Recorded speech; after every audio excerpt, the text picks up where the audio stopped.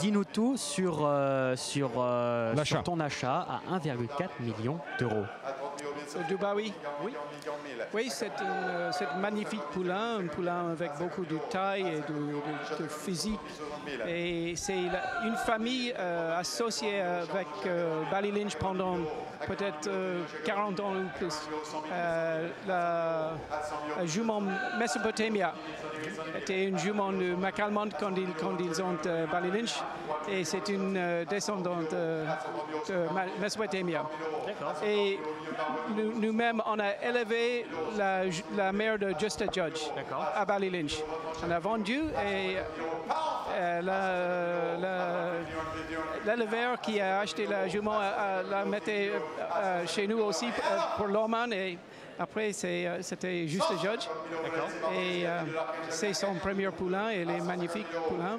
So, elle va courir euh, pour Bally Lynch et euh, j'espère que la famille va revenir en euh, Bally Lynch. Oui, Et pourquoi pas un nouvel étalon euh, dans quelques années exactement.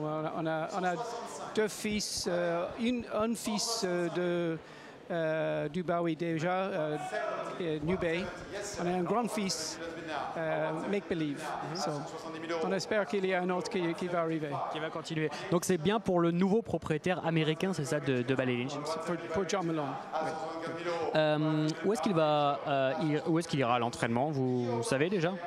C'est pas décidé encore. On on va rentrer chez nous. dans le- de- on a un pré-entraînement chez nous. Va faire le débourrage. On va, on va, on va choisir un, euh, euh, entraîneur après, après tout ça.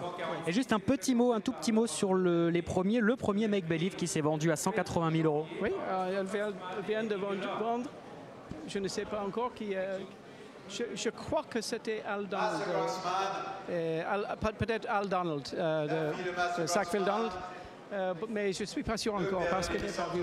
Mais euh, si c'est lui, il, il a déjà acheté une pouliche de nous qui a gagné le Breeders' Cup Juvenile Chrysallium. So, J'espère que c'est un autre pour lui.